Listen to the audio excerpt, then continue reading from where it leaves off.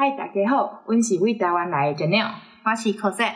我今仔日阮伫咧台湾人公共事务会发拍 DDC。本集 Podcast 的录音时间是台湾二十一日周日凌晨零点。新闻内容有可能随着你收听的时间有点改变喽，那就让我们开始吧。US 台湾 Watch，美国台湾观测站，台美关系下一站。新闻加料，评论加辣，欢迎收听观测站底加啦。欢迎收看第三季第三十七集的观测站底加啦。大家好，我是可心，我是方瑜，我是 Jerry，我是冒充可心的香菇啦。我不是可心，我不是可香菇又来了，我又来，我又来篡位了，我又来冒充可心了。所以今天是香菇串访这个观测站底加了。串访最近这个词好红哦，串访。对啊，好了，那就是我们刚刚有听到嘛，开场是我们的呃发爬的小伙伴、大伙伴们，我们的发爬伙伴们，他们帮我们做了一个开场。那发爬今年很特别，他们是四十周年，所以我们有特地有一个神秘的呃企划跟他们一起做的，所以大家可以期待一下。那我们这次大家应该不知道有没有在注意我们呢？我们其实如果如果你们是 donor 的话，你们应该有收到我们的信。我们又有一些神秘的计划，好不好？有一些神秘的计划。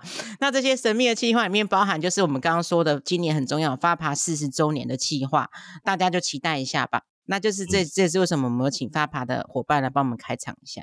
哎，香菇，你最近在忙什么啊？好久没看到，好久没听到你的这个声音了。啊，对，就是呃，大家应该知道嘛，我们我前一阵子去了 DC 一趟，因为我受这个 NAPA 的邀请，就是北美教授协会邀请，跟叶耀元教授两个人 co-host 了一个 session，在北美教授协会的年会，那那个是在 DC，所以前一阵子去了一趟 DC，那也因为这样呢，我们有了一些神秘的计划，也是在 DC。那因为上半年我就是这样飞来飞去，所以说基本上现在。D.C. 这一趟结束之后呢，终于可以好好你要隐居了，隐居了，好 好休息了。我太累了，我我上半年一直飞，我看你太累。你 IG 都是喝酒 coding 的照片哦，对对对，被抓到了。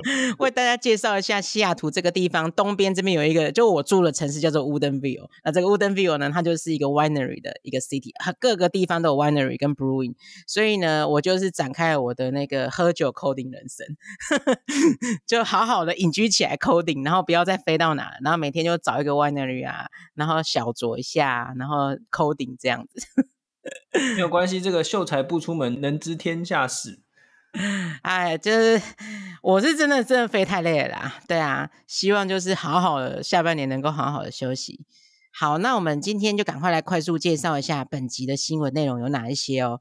那我们今天也是一样有三则。第一则呢，我们会讲美国的国会访团又来台湾了，这个大家应该都有在新闻上面看到。然后呢，第二个呢是呃，我们自己有 PO，我看其他的新闻比较没有去讲这个，我们自己有发了一篇文章，是讲说其实呃，美国有明确的表示，中华人民共和国是在挑战现状的这一方。那第三者也是一样，会有 Jerry 来帮我们带美国最近的国内新闻。那我们现在进入到第一个新闻环节。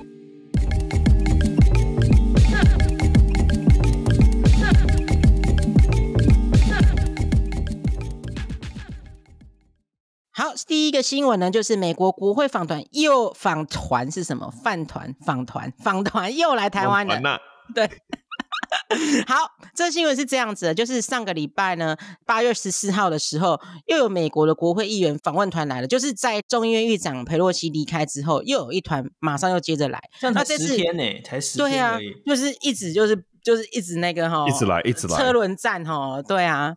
然后这一次领衔的是美国参议院的外委会的亚太小组的主席艾德马基，and 嗯，Marky，那马基大叔啦，他已经是大叔了。当然，这是跟过去一样，这次都是跨党派啊。等下等下等下，我觉得这有点有点不公平。我们都叫那个 佩洛西阿妈，可是却叫马基大叔，好像有一点。马基现在几岁？阿公了，七十几，快快八十了吧？对。应该阿公好，叫阿公好了。好了，马基阿公好了，七十六岁，那马基阿公哦，那也年纪很大了哦。等一下我们会好好介绍一下这个人。当然呢，这次跟过去一样，就是也是跨党派、跨参众议院的一个访问团。所以说这次其实很建议大家都去 AIT 的页面上面认识一下每每一位的这个来访的参众议员。不只是因为说他们整理的很仔细，而且重要的是这些人的背景确实真的都超级有趣的。有一个人有十四个孙子，哎，等下 A I T 是连把把这个也都写进去他们的介绍吗？族谱 family 那个 都把它画上我去。记得之前不是还有什么，他有几只狗也都有写，会不会太认真了 真？的超认真的。狗的名字，好啦，但是这个访谈哦，来台湾最重要的其实还是这个时间点。刚刚方有讲到嘛，仅仅在 Pelosi 十天之后，又有另外一个算是很大咖的访团来。那北京这么的气噗噗，结果台湾在过情人节，然后美国访团还是照样来，就是感觉都没有在管你的意思。因为我记得 Pelosi 他那个时候来之后，立刻不是有同步在华邮发了一篇投书嘛，对他就有强调说，他的访问就跟其他国会议员访台一样，就是一个例行都会有的访问。我们一直过去这几年都一直有国会议员来嘛，所以这一次另外一批访团来台湾，其实就是要佐证，有点像是在佐证 Pelosi 这个论点，就是说，就是惯例啊，对不对？让来台湾呃访台这件事情常态化，那逼北京接受这个感觉。那中国这一次的反应好像也还算克制，好像没有观察到太多的气噗噗的反应。前一团比较大团，然后这一团就没有那么大的反应，这样子要休息一下了，有点 累。有点累。前一团反应太大，在网络上看到一个超好笑，就是说，哎，美国只要派一个行政专机的那个预算，结果你中国又要射飞弹呐、然后又是那个大家那边调军机、军舰，哎，军机很贵的，你飞一个小时出去是几十万的那个油钱，对耶，好像有道理耶。对不对？你看美国只要可是如果他们飞来台湾的话，我们台湾军机也要办飞，我们也要花钱的。没有错，没要看他们，有错要，看他们飞哪里吧。很麻烦呢、对，就是说，对，但总而言之，就是说，其实国会议员访问台湾一直都有，但是北京那边就是随时就要突然间这样生气起来，这样子，就是说，其实我们真的很难去预测了。那当然，美国就是真的是没有要管他们，就是 不管是 Pelosi 也好，或是各级的官员都说，哎，我们要我们要去安排哪边的访问，其实完全不会听中国的就对了。完全不会鸟他就对了。那我想要问一下方宇，就是说这一次的访问团跟之前的有什么不一样？因为我们一直有看到那个国会的议员访问团一直来台湾嘛。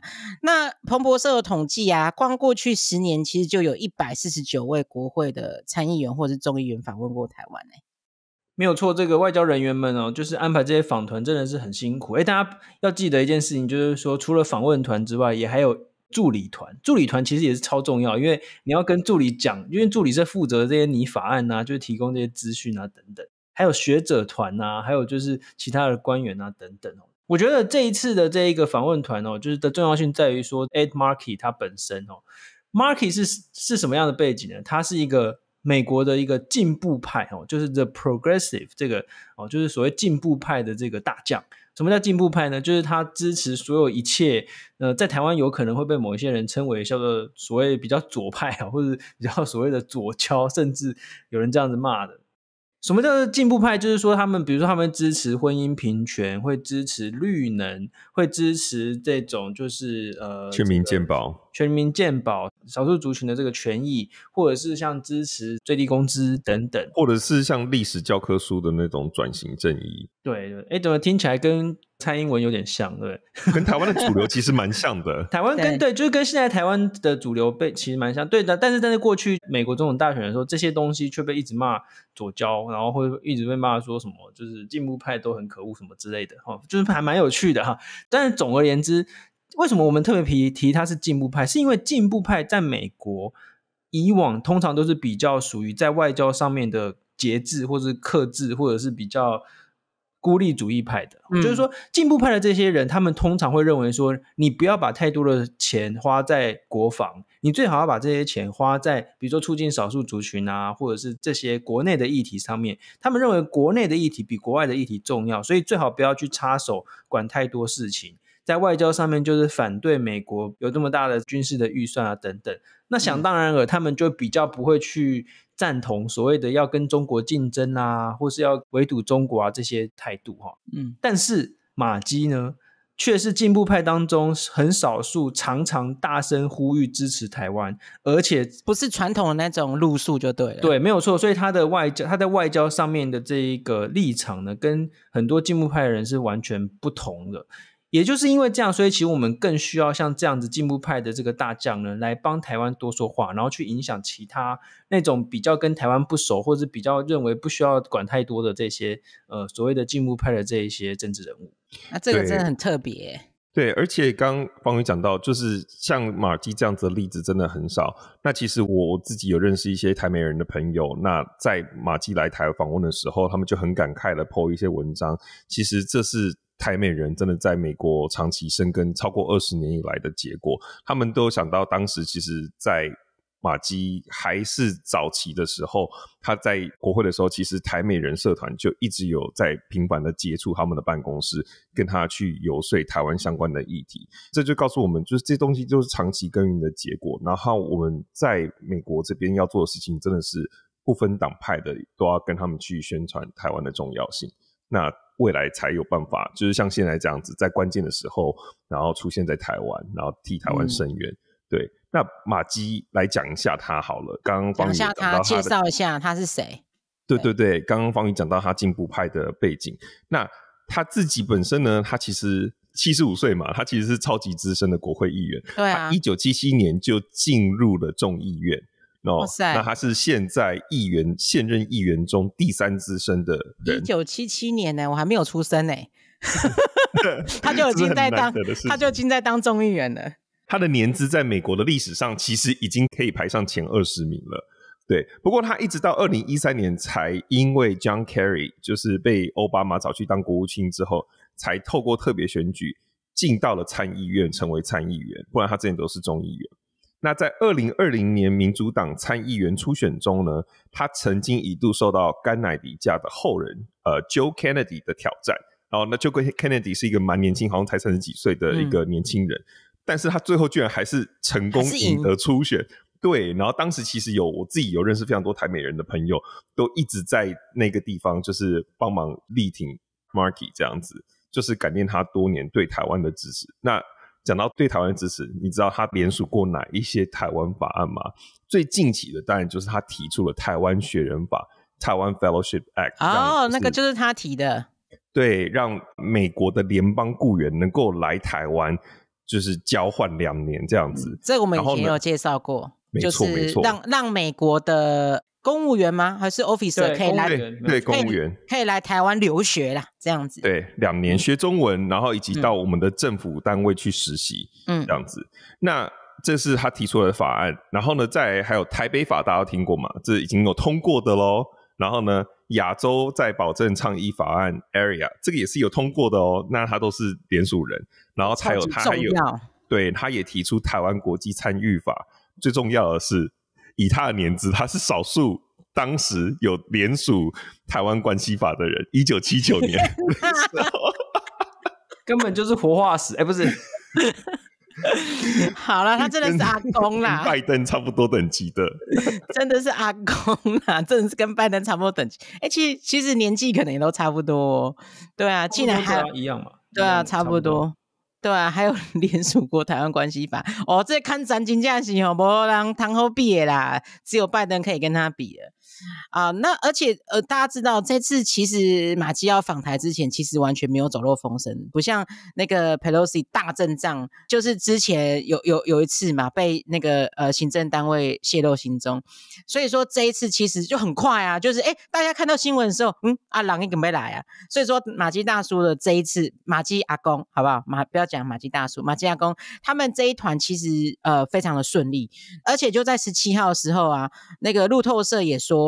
加拿大也正在安排访问团来台湾啊，所以说现在是怎么样？都都来台湾就对了，就全部都来啊，轮流来啊，哦，一团接着一团来啊。但是是说现在加拿大这一团，因为已经先被披露出来了嘛，哦，那就不知道说中国会不会去施压啊，去威胁加拿大的议员啊，就是说，这我觉得这个应该是好事啊，因为他们每次这些这个外交战狼，中国这个外交战狼哦，每次去对国外的议员莫名其妙施压的时候，感觉都只是在把自己的事情搞砸而已。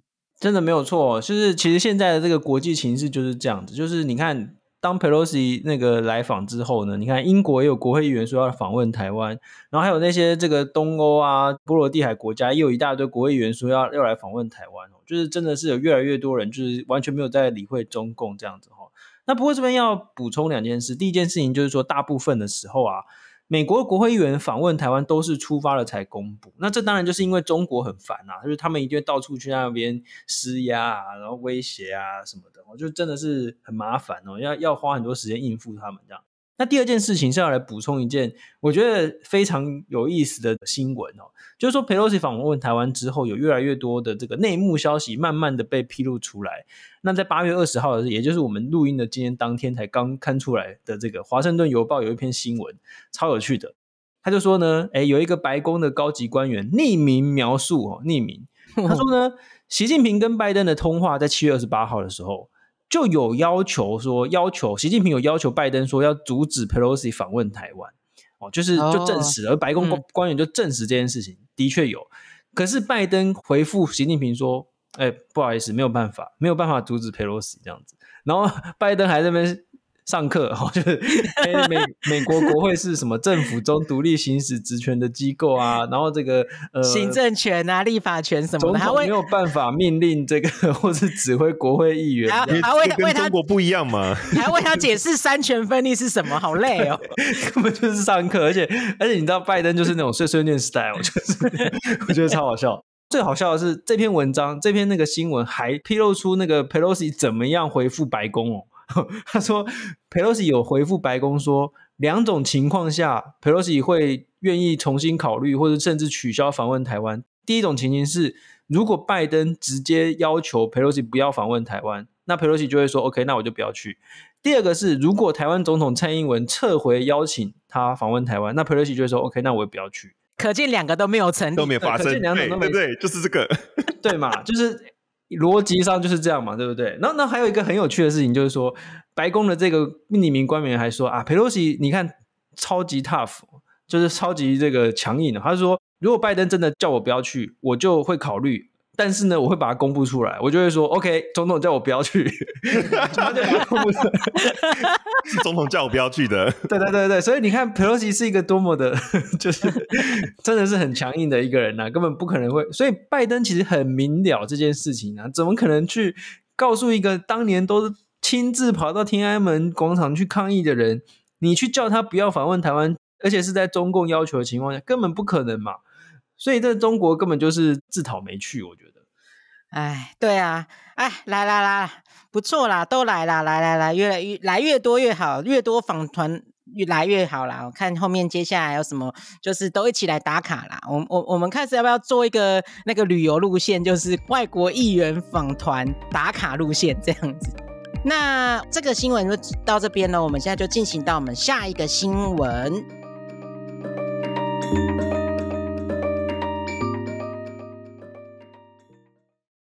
第二个新闻呢，就是呢，美国明确的表示是中华人民共和国在挑战现状。那这个新闻是怎么样呢？就是接续到刚刚上上面讲的，那美国在众议院的议长 Pelosi 访台之后呢，那大家知道啊，中国又是射飞弹啊，又是军演啊，然后外交人员在全世界媒体上面都放狠话，放警告这个警告那个的啊，等等等等的。所以方宇要不要来帮我们讲一下这个新闻的一些细节？没有错，这个美国国务院在十五号的时候呢，就在记者会哦，就是讲了一份正式的回应，就是回应说中国的军演啊，然后还有就是那些战狼外交啊等等哦。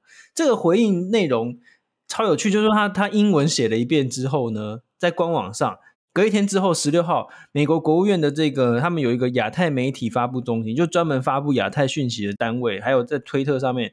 又发了一次这个回应，然后还不够哦。十七号隔了一天之后，他们用简体中文又发了一次哦。美国驻华使领馆的这个页面上面，我觉得超有趣，就是一天发一次，连续讲三天这样子哦。就是要确定他们都可以看得到，就对了。没有错。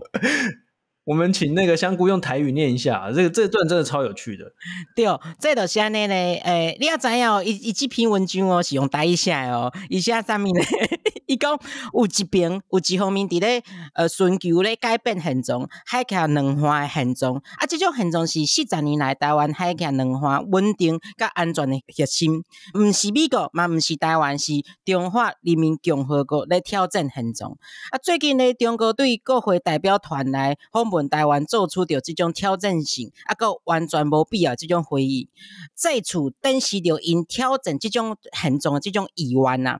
太厉害了！美国国务院真的很强，不只是简体中文发文，也讲台语这样。对，但是好啦，但但基本上就是替大家刚刚 recap 一下，其实这个声明最重要的就是指出，改变现状的不是美国，不是台湾，是中华人民共和国。哦，哎，等等等等等，刚刚可心插播，我刚刚录到一半，每次我录音的时候，可心都会插播。哎，刚刚可心扣音进来说，他问大家是不是还记得上一集有提到那个印太事务官坎佩尔的那个回应，有提到他说，哦，当中有预告说会在几天之后来宣布。美台雄心勃勃的这个贸易谈判的那个路线图嘛，大家其实最关心的就是这个嘛。你那么多的代代表团，那这个贸易谈判的这个东西，这个牛肉才是大家关心的。那就在十八号这一天呢，台美宣布将正式展开二十一世纪贸易倡议的谈判喽。所以大家应该会忘记说，呃，大家你看听过可能有听过这个名词，我们之前有介绍过，那可能大家也忘记二十一世纪不是不是 Forever Twenty One 哦，哈，这个到底是什么？也不是烤鸡哦，也不是烤鸡哦，对，二十一世纪哦，也不是房地产公司哦，哈，就是二十一世纪贸易倡议哈，这是为这个 FTA 以及印太。经济整合铺路的重要的这个机制，所以综合来看，其实台美不止在高层的互访上面的交流更为紧密。那其实我们我刚刚讲的，就是在实质的这个合作、这个经济合作牛肉的层级之中，一直在推展当中，这才是大家要的嘛。没有错，我来补充一下哦，这个二十一世纪贸易倡议呢，它其实就是这个所谓 IPF 哦，印太经济框架哦，这个机制的缩小版啊。为什么要缩小版？因为 IPF 有牵涉到很多国家，但是这个二十一世纪贸易倡议局都等于是美国跟台湾直接来谈判。那我们之前也有讲到，就是说它有很可有可能，就我们谈判的内容会变成。IPF 的一个范本，这是谈判的范本，因为两国之间的谈判当然是比这个十几国一起谈判还要容易的多嘛，所以对台湾来说，我觉得这是一个很好的贸易的这个谈判的机会。那这个二十一世纪贸易倡议，它并不像以往的这个 FTA 一样有关于关税的这个谈判，它是比较多的是在强化双边的投资跟贸易的机制，还有一个更完善的市场机制这样子哦。那当然，最重要、最重要的目的就是要讨论如何降低对中国的依赖哦。就所以这个东西对于台湾跟美国来说，双边来说都非常的重要。所以大家知道，这个才是其实大家最关注嘛。你就贸易团来，其实就是大家为了什么？大家就是为了赶快来开展双边的这些经贸的合作。好，那我们在进入下一个新闻之前，我们先进入一段广告。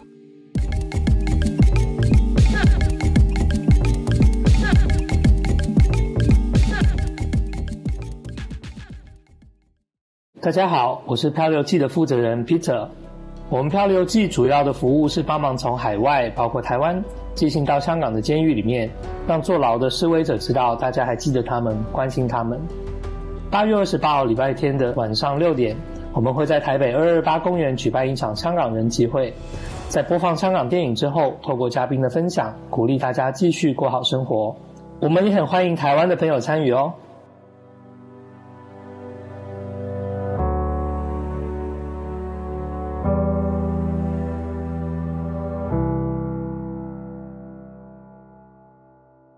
好，那就请大家多多支持那个活动喽。好，我们现在进到第三个新闻环节，就是我们美国国内新闻的环节。Jerry 要不要直接帮我们讲一下？Liz Cheney，这这怎么念？Liz Cheney，Liz Cheney 是谁？对，叫哦钱尼，他毫毫不意外落选，接下来被酸中痛啊吗？这起下面艺术嘞，来 Jerry 来帮忙讲解。对，其实我们之前讲过很多次，大家对 Lescheny 最近的印象应该就是他是美国国会众议院 Jan Six Committee，就是这个特别调查委员会的 Vice Chair，就是副主席嘛。那但他其实也是怀俄明州的众议员。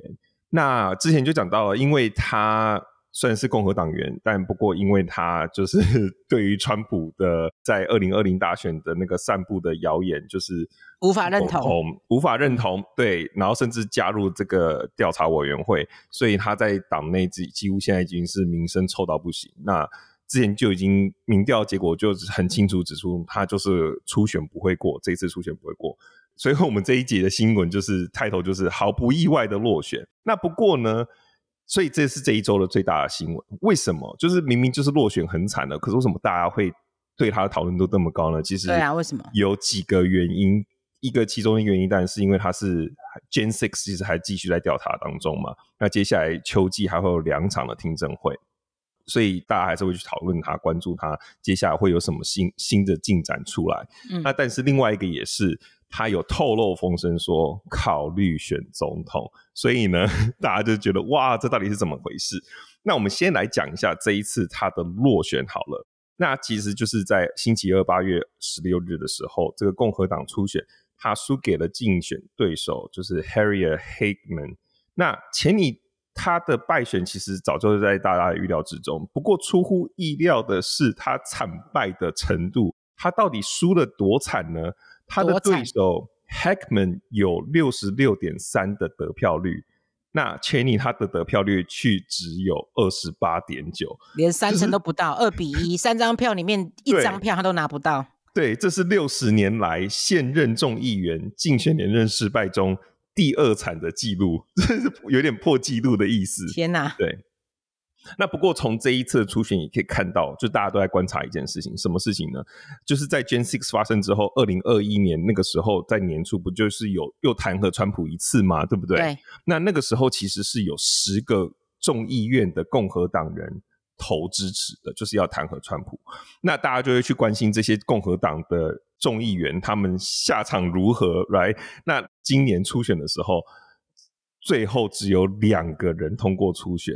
然后四个落选，然后四个是要直接退休，所以你就知道这个四个都没有办法继续选就对了，没有办法，就就只有两个有通过，所以就知道对川普还想走，得罪方丈，对得罪方丈，所以这真是很恐怖。川普的影响力还是非常非常的大。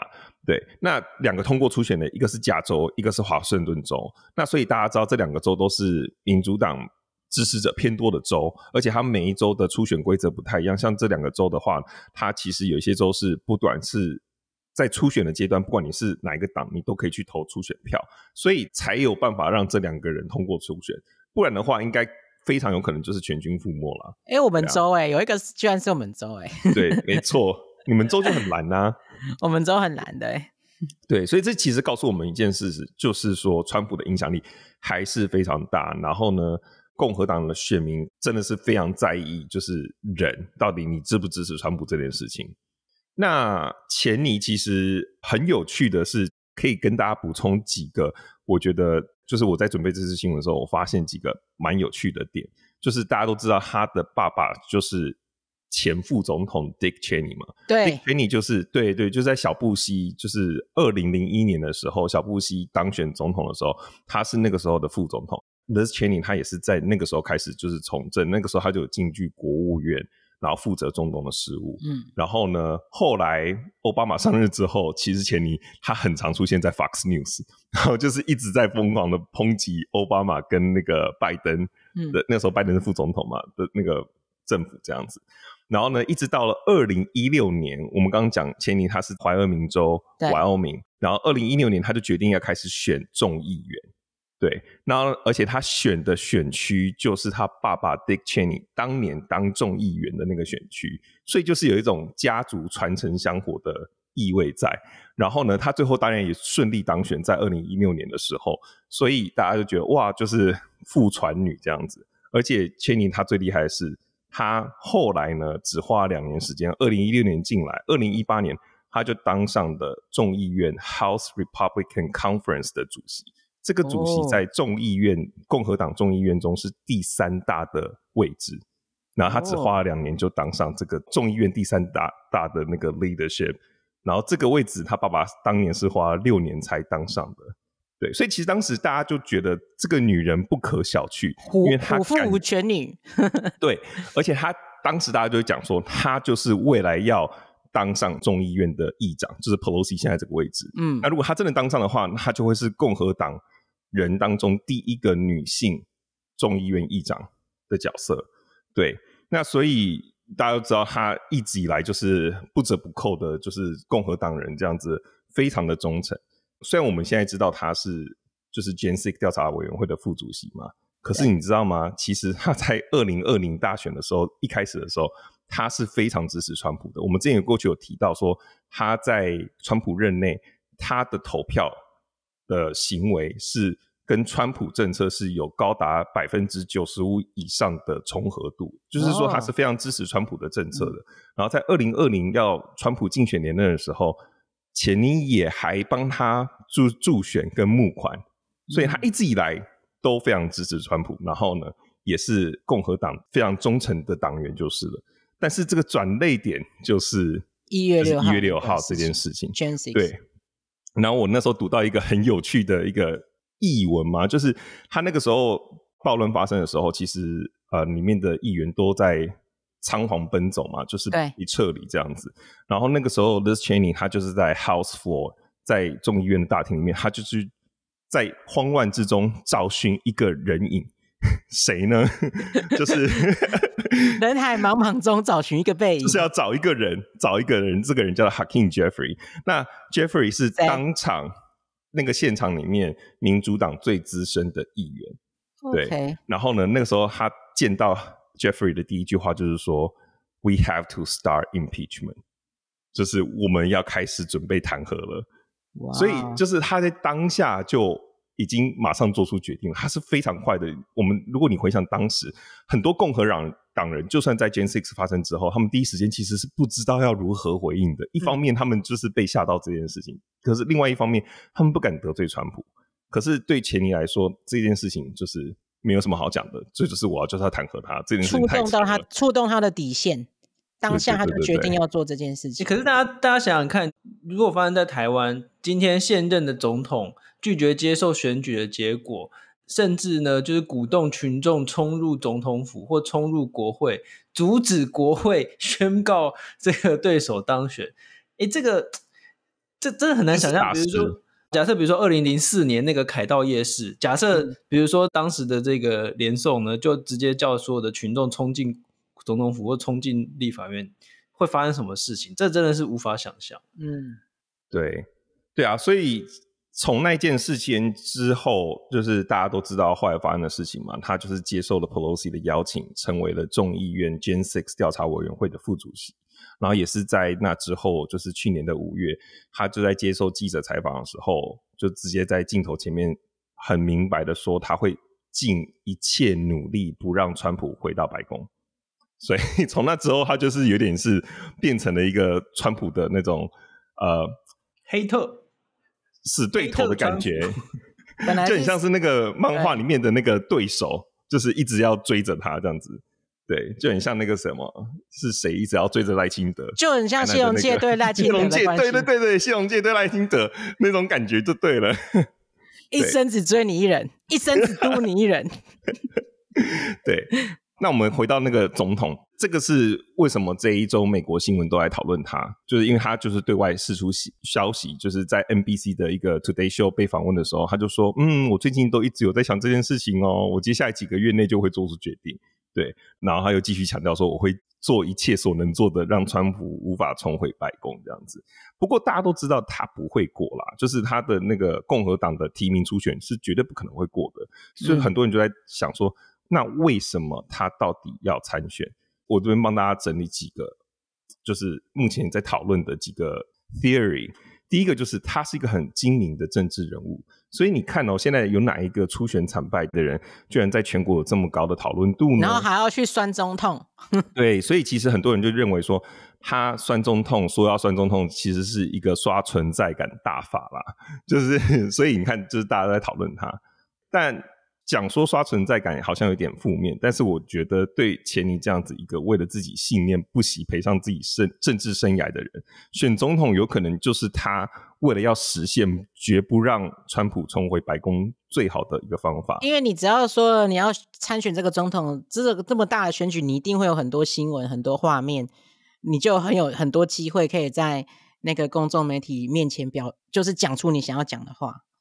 没错，没错，而且刚刚不是说他几乎就是不可能选上嘛，对不对？但是呢，不是每一个参选的人都志在胜选哦。有时候参选只是为了要怎么样，要影响选举。参选是这样嘛？参选有两种，一种是自己选上，一种是不让某人选上。那你觉得是哪一种？这个你看，你看台湾的选举也都是这个样子。没有美国的美国的这个初选呢，通常两两党都有一个规定，就是说，当你民调越过某一个门槛的时候，你就可以参加辩论。那那个你只要越过那个门槛进入辩论，就会变得非常有趣。对，没错，刚刚方讲到这个大重点了，因为呢，YouGov 上周做了一个民调，就是针对共和党，就是二零二四要选总统的几个可能的人选做出民调，Liz Cheney 当然就是超低的，就是三趴在地上爬。可是他三趴是所有名单里面的第四名，哎，所以其实没有到非常差。第三名是谁？我们往前一个一个倒数好了。他第四名，第三名是七趴的那个 Pence，就是前副总统 Mike Pence。然后呢，前两名呢，第一名大概应该不难想象，就是川普。川普啊，他的支持率有达到多少嘞？百分之四十二点七五。然后第二名就是我们之前有讲过，佛罗里达州的州长 Ron DeSantis，他支持率是百分之三十四。